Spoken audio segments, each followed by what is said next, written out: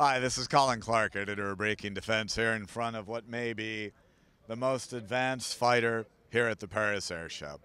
Okay, it's made from Legos, but it's not the only plastic aircraft we've seen here at the show. With due regard to the sensibilities of our French, German, Spanish, and Turkish allies, their airplanes, while they may have a slightly better finish to them, are simply very finely made plastic models, not unlike this one. And of course, when we were at the Farnborough show last year, the British unveiled Tempest, which, well, wasn't too far off this model. This is Colin Clark on day two of the Paris Air Show, reporting from a galaxy far, far away.